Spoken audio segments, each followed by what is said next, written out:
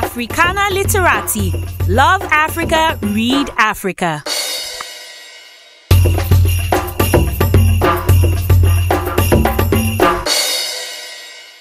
It's another exciting episode of Africana Literati. Welcome to the show. Thank you for watching.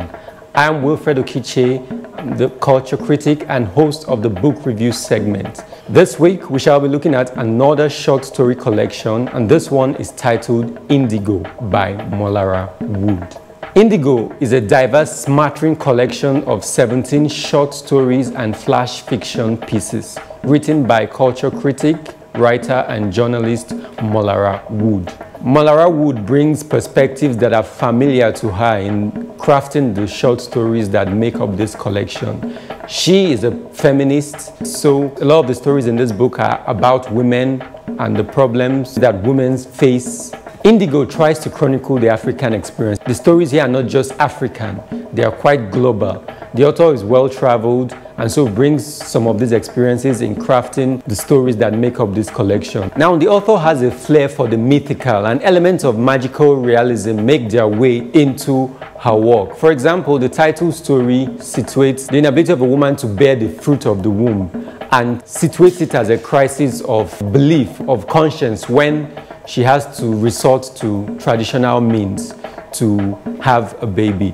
Molara Wood is a gifted writer such that her style is impressive, her choice of words is beautiful, there's almost no wasted words. The editing is superb. She says exactly what she wants to say and comes out of it, leaving audiences awed sometimes by the power of her writing. Indigo is a brilliant collection. Not all the stories work, but majority of them come together and the whole package is tight, punchy, and very, very detailed.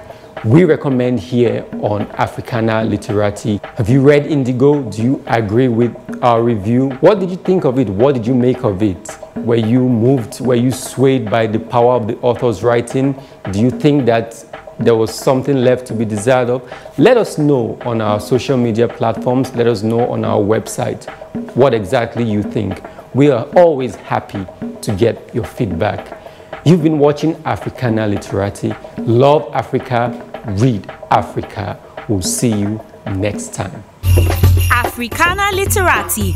Love Africa, read Africa.